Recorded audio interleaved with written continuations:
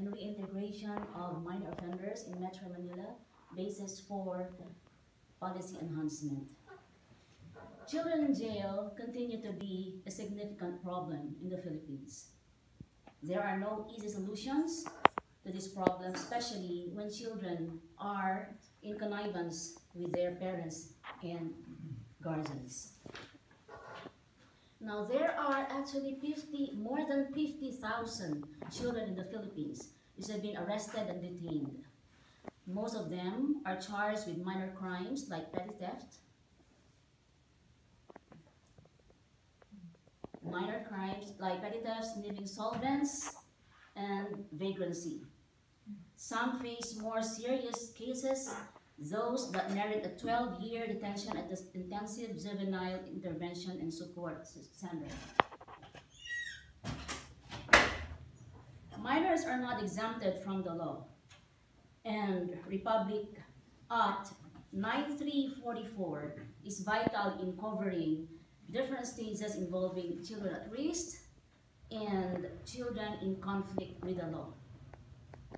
So these children at risk are those children which are abandoned by their parents, who are neglected, who are also out of the streets, who are also uh, do not go to schools, and also children in conflict with the law are those children who have um, been um, uh, given some offenses like um, when when they have when a child is put in jail together with hardened criminals, he can go scot-free. The study sought to determine the situation of the juvenile offenders in the rehabilitation centers in Metro Manila as to the level of adequacy of facilities and equipment and of the programs and services as perceived by the respondent inmates.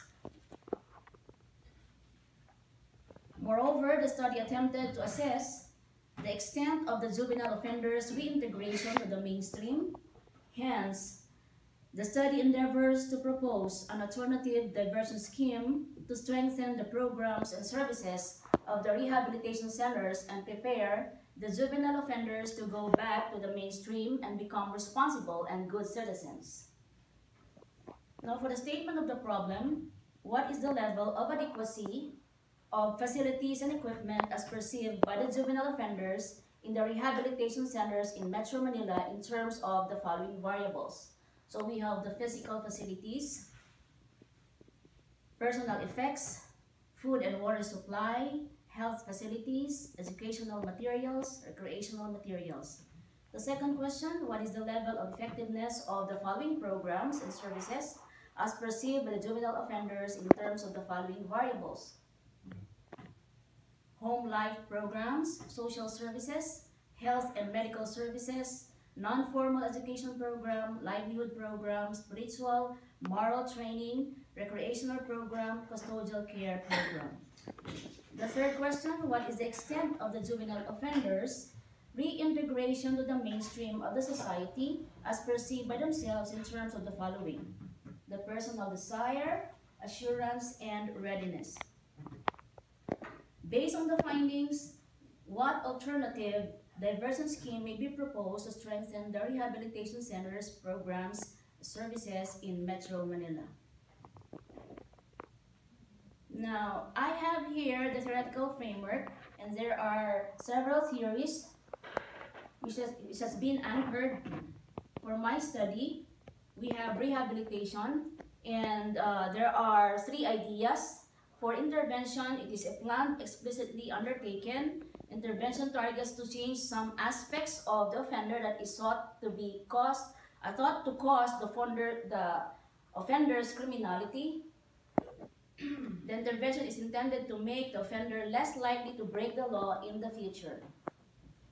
Another one is diversion, which is primarily grounded in two different theories. It is based on labeling, principles dating back to Tannenbaum, this is to minimize the effects of labeling associated with offending and to limit the opportunities youths have to associate with antisocial peers by reducing their contact and exposure to the juvenile justice. Another is labeling theory. From Becker, it is on stigma and negative consequence. Lemert on secondary deviance. Also another is by Becker. Uh, also, will, uh, the theory that argues that youths can learn anti-social attitudes and behaviors by associating with peers to exhibit such behavior. As to my methodology, I have made use of the descriptive survey research, um, which utilized, uh, I utilized questionnaire, uh, unstructured interviews, and documentary ana analysis. Statistical treated, uh, treatment was percentage, weighted mean. There are 100 respondents which were randomly selected from the three youth homes in Metro Manila. We have Molave Youth Home in Quezon City. We also have Manila Youth Reception Center and the Pasay City uh, Youth Home.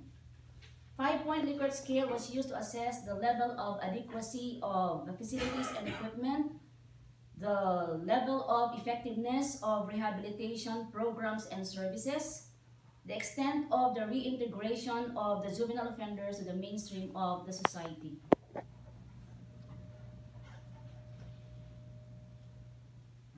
As to the findings of the study, the level of adequacy of facilities in terms of personal effects, there are actually uh, 2.20 is inadequate for personal effects, educational materials 3.03 inadequate, recreational materials 2.28 inadequate.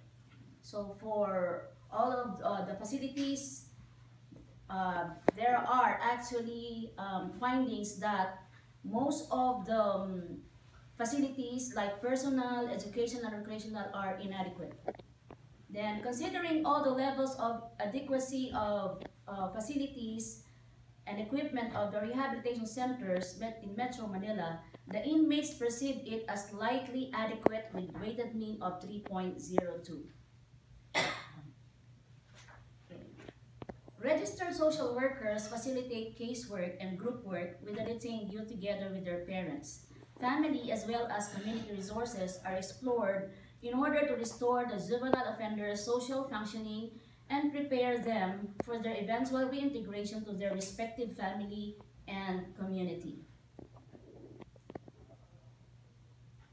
However, the respondents averred that the juvenile justice system is quite not effective. Some of the juvenile offenders have no available written case studies. There is an inadequacy in the number of social workers in the youth homes where they belong. Respondents claim that not all of them were provided with the legal assistance. Their families need to seek the services of private lawyers to defend them in court.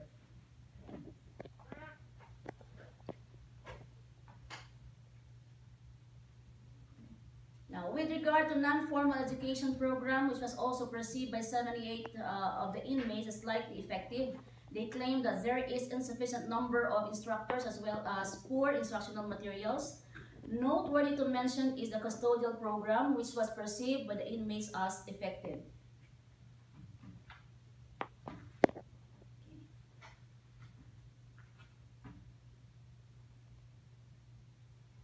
As to the respondents' residents' extent of reintegration to the mainstream of the society in terms of their personal desire, they rated it as very high. 72% or most of them really wanted to be reintegrated in the core of the society and to become better citizens when they go back to the mainstream, while the rest of the respondent inmates would prefer to stay in the rehabilitation center rather than go back to their families or communities and face the negative perception of the society and difficult challenges of life. Moreover, only 12% of the juvenile offenders rated assurance as slightly high. They contended that they are not so sure about the situation outside the center. They lack the strong feeling of confidence about themselves or about others towards them. They aver that they need the assurance of their families and the society to completely accept and support them when they go back to the mainstream of the society. They asserted further that one of the major causes of their delinquency is poverty, where they are pushed beyond their limits just to survive. In terms of readiness, only 16 of the inmates assessed it as high, which conveys that they are quite ready to go back to the mainstream, and asserted further that they are doing their best to improve their way of life. As the proposed alternative diversion scheme to address the present situation of the juvenile offenders in the rehabilitation centers in Metro Manila, the following alternative diversion scheme is highly proposed. The implementation of a holistic, individualized treatment program with intensive and comprehensive services. The engagement of a multidisciplinary team which consists of experienced youth caseworkers, medical doctors, licensed psychologists, licensed educational and guidance counselors. The program and services may include but not limited to skills training, formal education, and other activities.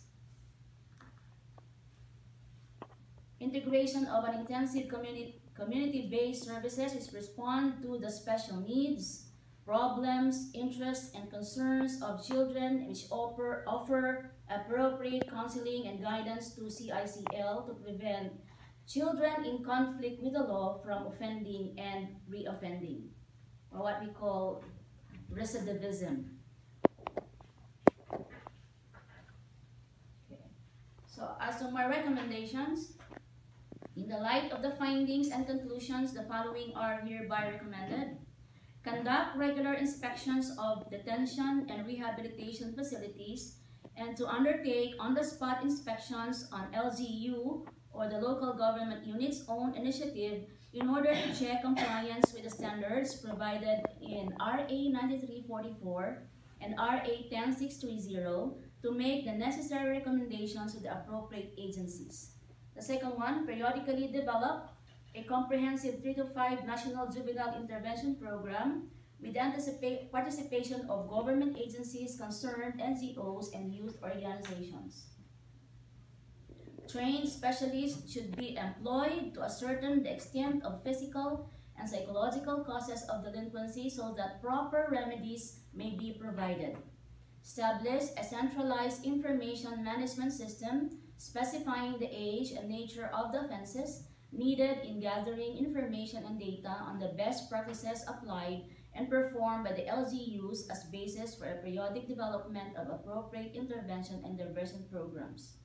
The proposed alternative diversion scheme to address the present situation in the rehabilitation centers may be considered in drafting an LGU juvenile intervention and diversion program.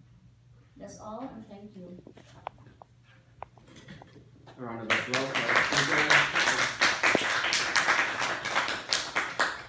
Wow, we have 15 minutes for our Q&A.